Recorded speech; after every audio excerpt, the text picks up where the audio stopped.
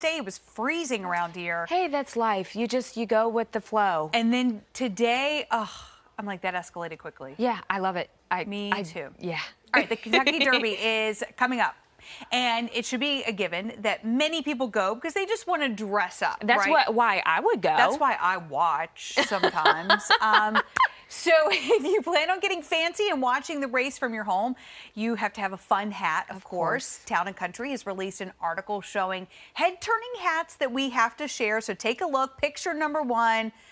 I don't know if I would wear that. You wouldn't? Oh, mm. I would, 100%. What? Yeah, I love it. Beautiful. It's Pink- extravagant. big pink hat. Yeah. Yeah, that's nice. Okay, what's our picture number two?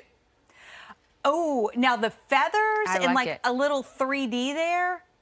Megan, that looks good. Yeah, I like it. Yeah, people get into this stuff, and I'm sure they have like you know a blue dress to go with Mm, it. denim or something like that. Yeah. Oh yes. That'd be nice. All right, flower. Uh, picture number. Yeah, here we go.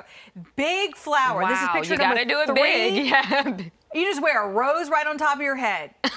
that is amazing. I, these are so fun. And uh, we have picture number four.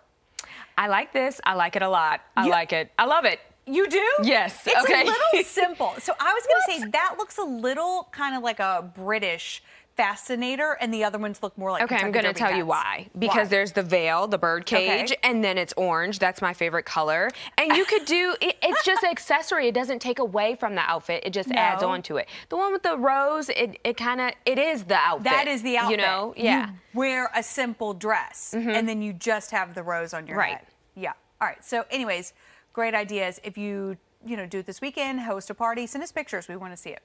All right. So, a tweet that was posted a couple of days ago has been getting a lot of attention. Speaking of fashion. Oh, okay. Uh, the user Army String addresses that basically all fast food restaurants are looking the same and then more modern. Okay, so not fashion. We're talking about structure here. It's okay. Building fashion. It's okay. There you go.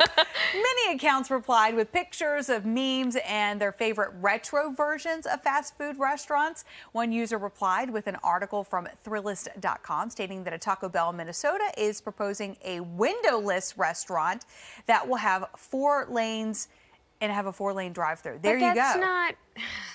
have you, but you've seen what Chick fil A has done where they have the big awning eh, locally? I'm with the retro, old fashioned. But That's now, how I like it. Yeah, no, no one's going into the restaurants. It's You just drive right through. That's our thing now. Okay.